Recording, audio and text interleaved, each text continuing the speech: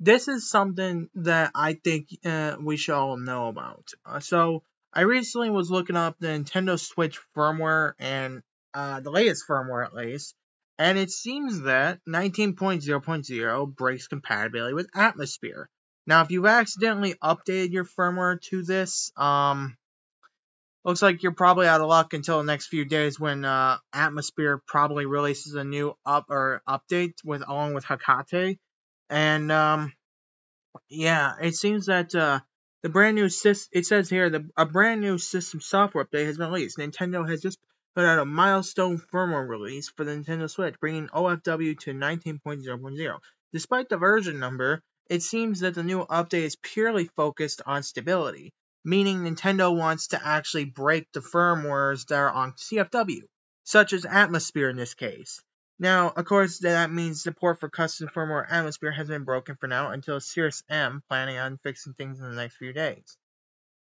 Well, one thing I will say is that if it's not updated on the Atmosphere, don't update your Nintendo Switch. If you update your Nintendo Switch and it's modded, um, I wouldn't say there's a lot of good luck coming from this. However, uh, if you do happen to um, uh, accidentally not, uh, if you accidentally update on official firmware from like um, the uh, actual Switch's firm uh, official w, OFW itself, uh, chances are likely your Switch won't be able to uh, be modded unless it's downgraded or if it's or, or which can only be happen on custom firmware, of course. But uh, the main takeaway from this is that Nintendo is trying to stop firmware updates on the Switch. Now, one thing I will say is, how do you jailbreak a Switch? Um, very touchy, but I'll get into it. Okay, well, one thing, um, uh, so one thing I want to break down is this uh, video uh, before we get started is for educational purposes, and you should not follow uh, this guide if you're willing to not mod your Switch because uh, modding your Switch it does come with risks, but you might want to know them before you actually uh, also mainly know how Nintendo operates before you uh, function one of these things modded. So uh, that's a little disclaimer there. Now, now without further ado, let's get straight into the video of how to mod your Nintendo Switch. So, a few things you're gonna need actually uh, let me get this out so I can actually showcase to you guys what you're going to need. So you're going to need a micro SD card with uh, at least 120 gigs recommended. You're going to need an RCM jig, uh, which actually, there's three ways of modding your Switch with uh, metal these days. Mainly metal is the way to work it, but uh, an RCM jig does the best job. Now, if you don't have one of these, uh, there's actually uh, two other options, which are not the best, and I don't recommend it unless you're trying to do it right now as like a temporary solution. But besides an RCM jig, you can also do it with a paperclip or tinfoil. But the RCM jig I recommend getting for like three, four bucks or something like that. Some them are a little bit higher, but eh, these things uh, work every time from what I know. You're also going to need um, a switch that a compatible switch V1, which is not patched. Uh, if your switch is patched or possibly patched, you can uh, check your serial number uh, on the um, uh, ismyswitchpatch.com website. I'll have links for that in there in the description below. Also, you're gonna need a um, uh, this isn't really what you need, but this is for show. Like this, you're gonna need a cable that is like USB Type C to A or however you can connect your Switch to the uh, uh, your PC. And you're also going to need some downloads set up. So let me get started with that real quick. Um, me just put this back in my Switch. By the way, if you find this video any value, uh, be sure to leave a like, subscribe, and uh, we'll uh, uh keep the channel going for as long as we can. And uh, if you want to see more, let me know. Alright, without further ado, let's get to some downloads. A few things you're going to need is, um, hang on, let me look it up real quick. Um, Tegra RCM GUI. So first thing you're going to need, okay, uh, is Tegra RCM GUI. This can be found on a GitHub page. there's two versions actually, the installer or the portable version. The portable is like you could just put it on a folder or a, a, a external drive and it'll work that way. The installer just installs it to your computer. So, in my recommendation would be the portable version because um, you basically get to run it in any way or anywhere, I should say. Uh, and then basically you want to, uh, once you install Tegra RCM GUI, you're going to want to make sure that auto inject is on if you want to, and run app at Windows Startup. That just makes it to where you're just going to, it'll load as soon as your PC boots up. And then you want to install the drivers, which I highly recommend doing as well. Uh, MMC, uh, that goes on SD card. And you want to make sure that you get Hekate before doing this, and also some other downloads. I'll leave links to that as well. Uh, anyways, now the rest of the thing is you're going to go to uh, Hekate, and you're going to want to make sure you get the latest version. Now, apparently, uh, it says, actually, 6.2.2 just released, so Hekate's hardware OS version has 19.0.0 support. I just want to make sure that uh, that, uh, that worked before I actually meant, went and done something like this. Now, if you have a, a 19.0.0 uh, switch, it's recommended that you get this version right here. Now, apparently, uh, there has been. Uh, I want to make sure that this worked before I actually get it because Hekate, for whatever reason, didn't work on 19.0.0. So I want to make sure that uh, this was actually here and updated and matured as well. But I'll leave links to it so you guys can see how it works. If it doesn't work, then you could just downgrade it as soon as you can. And like if if you have a jailbroken switch in the first place. Now, of course, in order to downgrade your firmware, you're gonna need a modded switch. That's just how life works if you're on the official firmware and you accidentally update, you're probably going to likely want the latest version. So that's that's just what my assumption is, knowing from how hard uh, custom firmware it works. Next, you're going to need a few other things. You're going to need to go to a JITS website or an AOI or AIO. Yeah, AIO. Um,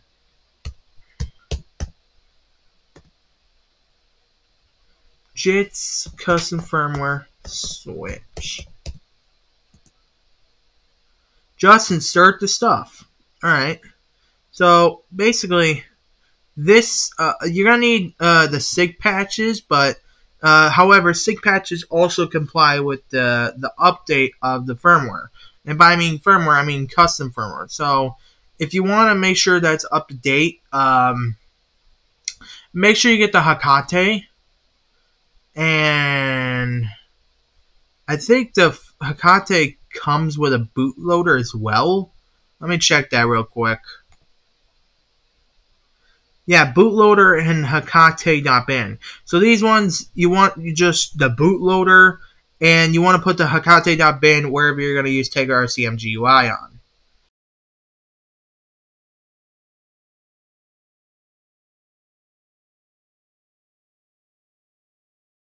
I mean, honestly, I recommend Atmosphere because it's a lot more uh, like secure and safe with custom firmware developing.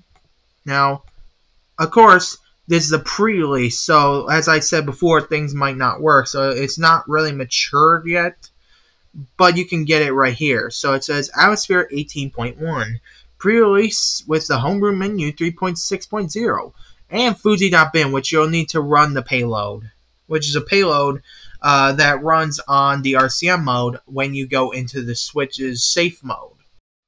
Also forgot to say this, but make sure your config files are set up as well. Atmosphere basically itself is uh, essentially just the files, you, probably some of the files you'll need, such as the switch files, which is what you're going to put your homebrew apps in, and the Atmosphere folder, which is basically what runs as the CFW.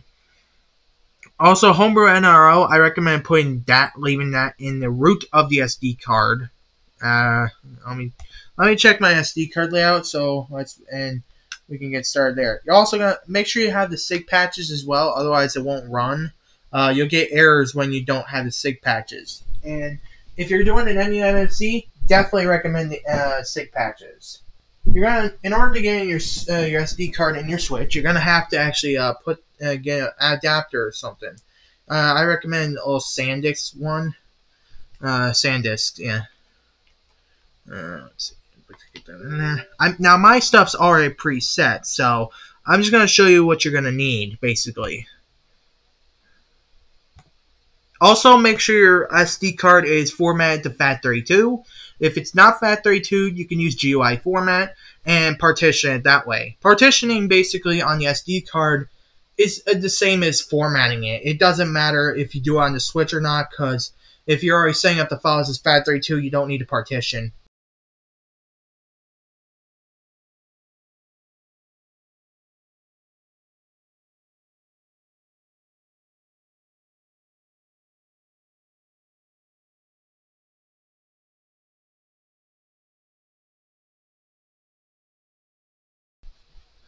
But for the sake, you're gonna need an uh, Android Atmosphere folder, not Android, uh, a bootloader. Um, some of the stuff might be from just be emulating the Wii, so bear in mind that's not important.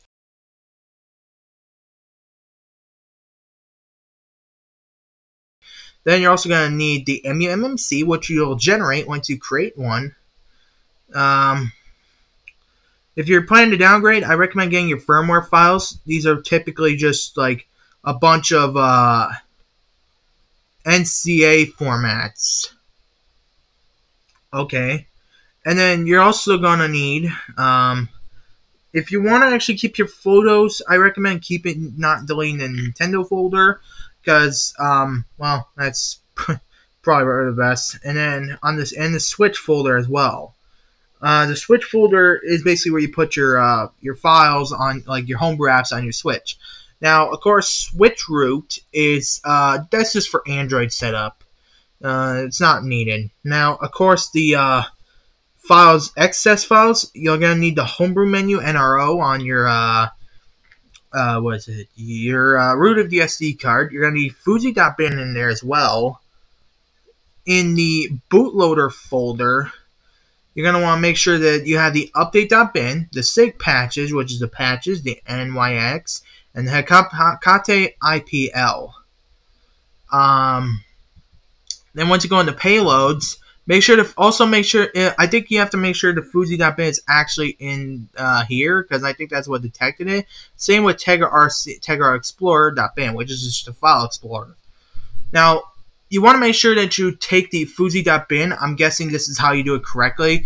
You want to put it in the payloads from in folder in the bootloader folder. Also, if you want to have other like uh, INIs, uh, which to load your switch from, uh, Hekate IPL, that's just a server. Don't mind that. Um, so what this does is when uh, the, the values that are like uh, uh, determine what uh, uh, is actually enabled. Now I have stock firmware enabled, but I don't I don't have like a file uh, the files from stock system firmware because um, now when you have this, this is basically just telling you what files are enabled, what stuff is enabled through it to connect to Nintendo servers. You want to make sure that you have the emuMMC at 1 because if you have it at zero, it's going to be able to connect Nintendo servers over and over again, and that's not something you want with an emuMMC, especially if you're trying to do something a little bit extra with it. Now, to leave that out of the way, um, oh no, you go to uh, your sys uh, folder and make sure everything's aligned there. I don't know if you have to. That probably just puts in there for you. But the atmosphere folder is where things are different. So you see that says reboot the payload.bin. That's going to be a, uh, a payload thing in the, uh, the Switch uh, homebrew menu. Now, of course, they already put that in there for you in case you want to like restart or something. But personally, it's recommended that you start with the reboot payload.bin if you want to just get a fresh restart on the console on custom firmware instead of just restarting with the uh, with the actual Switch uh, menu. But let's get into if once you got everything set up, Uh, I believe you don't need to actually set up Android unless you want to. Uh, that's just the switch root folder is just so it, it basically detects the switch root files I have for like loading up Android or something. But let's get into how do you use the switch to uh, load into RCM. So what you want to do is you want to you know, take note of the right Joy-Con rail. You're going to want to uh, ta take out your Joy-Con. Now there's three methods of doing this. Tinfoil, paperclip, or an RCM jig like I recommend. Um, you want to put that all the way in the right uh, bottom back, bottom of the right Joy-Con rail. Make sure it's fully in there. And then you want to get a cable like this uh, that is USB Type C to C or C to A. Now you put that in there, and what I would recommend doing in Tegra RCM, make sure the Hekate uh, folder is actually in the uh, thing. You can check that by clicking this, and it'll allow you to select a payload. But I'm not going to do that because I already got it on there. Now, everything if everything else is aligned up, you got your drivers installed, and you can auto inject. I would just I'm going to turn off auto inject so you can see what I'm doing here. So once you uh put once you press power and vol uh, plus and volume after that when plugging in your switch, it'll say RCM OK. Now you press volume plus and power, and it should boot into RCM mode. Uh, usually, I think it would say RCM OK if um, it's already in RCM mode. Now you can press inject payload. Oh wait, I forgot. I don't have my uh, my my my uh, Switch didn't have the SD card, so I had to actually change something. It'll give you a check. Now just go ahead and press volume plus and power. And make sure that when you do that, you inject the payload. And it boots in Hekate.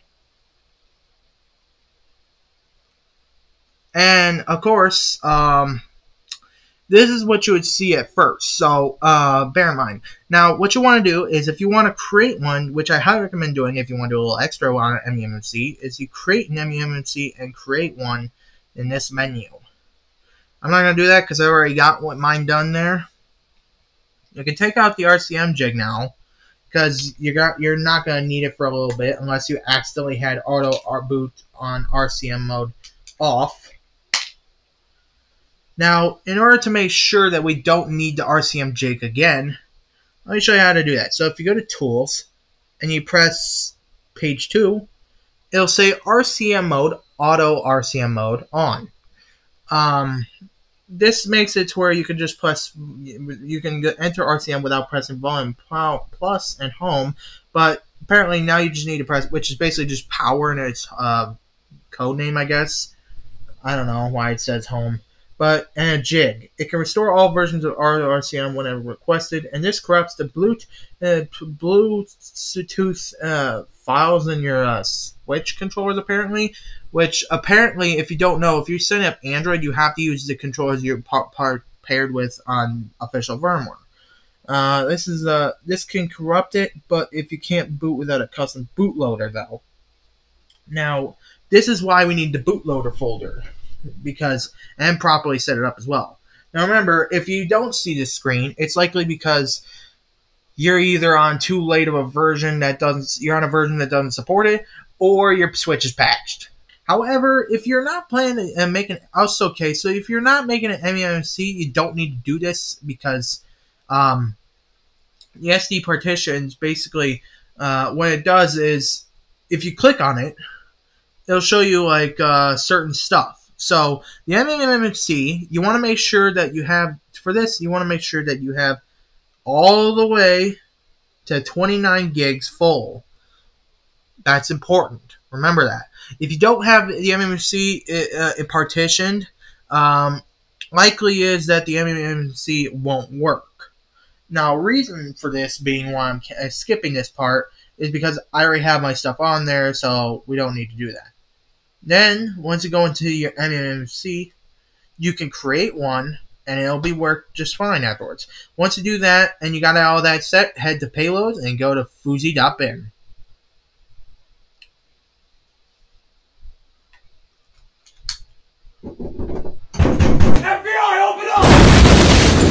Basically, uh, booting into the atmosphere, full uh, atmosphere stuff that we basically set up earlier. Now you can verify that your Switch is homebrewed by going into the album and seeing whether it boots up or not. Or you can go into settings and scroll all the way down to system. Now, if you see something that says AMS 1.7.1 or whatever firmware version your atmosphere is on, congratulations, you now have a jailbroken Switch. Uh, things you should not do on a jailbroken Switch. Well, I'm going to tell you right now. One thing is do not play online with cheats. Now, I, of course, when it comes to like system NAND or something like that with the custom firmware CFW on Nintendo servers, you don't want to play on pirated games online. You don't want to play with cheats online, and you don't want to actually modify those fi- uh, those game files unless you're planning to um, use an eMMC. Now, of course, in eMMC, what this does is since we've uh, you want to actually avoid a game connections Nintendo servers because remember, I there's a reason why I have 90 DNS also in the description, so you can play online safely. Now, before you, if you didn't have this beforehand, I would my my suggestion would be to turn on airplane mode and make sure that it does not connect to the internet until you've done it successfully. And once you do that, 90 DNS setter, what it does is it blocks Nintendo servers through this application. And then once you do that, you can test to verify its authenticity with 90 DNS testing utility. There's some other homebrew apps you can do, which is Daybreak, which is used to update your firmware offline and downgrade it too. I think uh, I think that works too, because remember when I said you could you have to downgrade your Switch to a specific version. Well, that's if you want more matured firmwares. And Daybreak comes in handy for that. Um, now, of course, I could go all around my freaking thing where I'm just talking about homebrew apps, but let's get into what you shouldn't do uh, on the Nintendo Switch as well as like miscellaneous things. Um, if you're going to use a system NAND for the CFW, my suggestion would be don't do what I'm doing with the Switch. That's all I'm gonna say because some of the stuff um, I don't actually need to actually tell you why I don't own the games. uh, I mean, technically, Mario Kart 8 I I dumped on an NSP from my cartridge, so that one's fine. But uh, here's the thing, though. Uh, because I didn't have any other games on my actual Switch, which is, by the way, right here, um, I had to actually jailbreak it just so I could play games like for freedom and stuff like that. But I don't play it online. That's that's that's not good because otherwise you're sending information to Nintendo and they can set up and get these telemetry logs to ban your console or your account or both in general. Most of the time, Nintendo will send data, uh, or not send data, or send and receive data just so they can get telemetry logs to ban mostly your account and console. But sometimes it's just a console. I would highly recommend if you do ever uh, not uh, uh, if you do ever get in a situation where you're trying to you're actually sending Nintendo servers data or something like that. Well, uh, don't with an eMMC. I'm gonna be honest with you on that. Now, of course, there's other things you don't want to do, which will connect Nintendo servers. One, you don't want to update your system firmware from the system settings because that also connects to Nintendo servers. And you also don't want to access the eShop or Nintendo Switch Online services. Mainly because these are tied to a server, uh, uh mainly Nintendo servers. And Mario Kart 8 Deluxe, also you don't want to go online with that with CM, CFW on uh, EMC, UMMC. and also same with the Nintendo Switch Entertainment emulators that Nintendo implemented.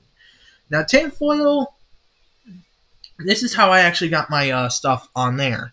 So one thing I will say is uh, Tinfoil allows you to back up your games legally, of course, but I'm, I'm not responsible for any like files that you download off of torrent websites, as that is illegal, and I'm not going to disclose that either way. Now, of course, Um, what you can do with a Nintendo Switch that's jailbroken is you can actually play emulators from different console generations. You could run uh, Linux and Android, I guess, if you backed and if you did the files correctly.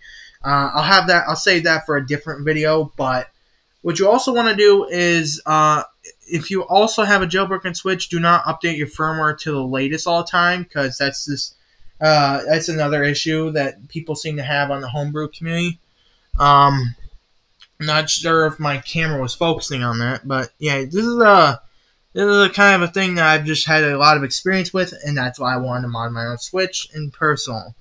But of course, um, what you actually end up doing is you're also when what an emuMMC does is it makes a complete backup of your Switch like and also a clean backup of your Switch.